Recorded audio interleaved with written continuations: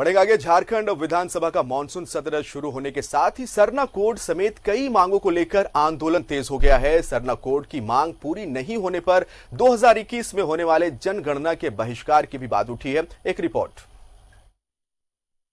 सरना धर्म कोड को लेकर लगातार प्रदर्शन हो रहा है। जहाँ कल आदिवासी छात्र मोर्चा के द्वारा सरना कोड समेत विभिन्न मांगों को लेकर प्रदर्शन किया गया। वहीं आज भी राज़ी पहाड़ा प्रार्थना सभा के द्वारा प्रदर्शन कर कोड लाने के साथ साथ धार्मिक स्थलों के संरक्षण की मांग की गई। अब हमारी जो नीचे की कमेटी है, जिला कमेटी और महिला प्रकोष्ठ, सभी मिलके हम लोग ये सरना धर्म कोड की मांग कर रहे हैं। ये आज़ादी से पहले हमारा सरना धर्म कोड था। आदिवासियों का एक अलग कोड में गिनती होती थी।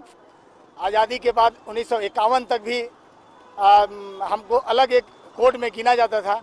आज हम लोग सरना धर्म कोड की मांग कर रहे हैं।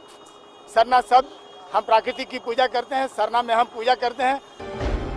सरकार का ध्यान आकृष्ट करते हुए सरना धर्म के मानने वालों ने कहा है कि पिछले 2011 में हुए जनगणना में उन्हें अन्य कॉलेज में खुद को अंकित किया था। जिसे आप हटा रहे हैं, ऐसे में वह मजबूरन इसका बहिष्कार करेंगे। वहीं सरना स्थल पर अवैध कब्जा, उसकी बिक्री एवं नियम कानून की आड़ में उसके दोहन पर अविलंब रोक लगाने की मांग की गई। समझी, साजिश के तहत इस तरह का किया जा रहा है। क्योंकि 1871 का पहली जनगणना में जब हमको एबोर्जिन नाम से जाना गया और उसी के आइडेंटिटी के आधार पर हमारी जो पहचान थी तब हम देश के तीसरी बड़ी आबादी थे। और ये लगातार चलता रहा इक्यावन के बाद।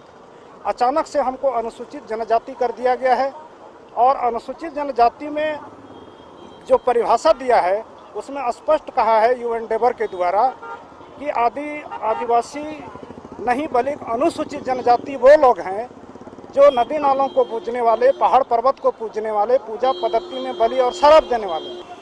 हालाँकि सरना धर्म कोड की मांग आदिवासियों के द्वारा लगातार की जा रही है। लेकिन खास बात यह है कि 2021 में जनगणना होना है और उस जनगण- जनगणने में कहीं ना कहीं सरना धर्म कोड को अंकित किए जाने को लेकर ये तमाम चीज़ें हो रही है।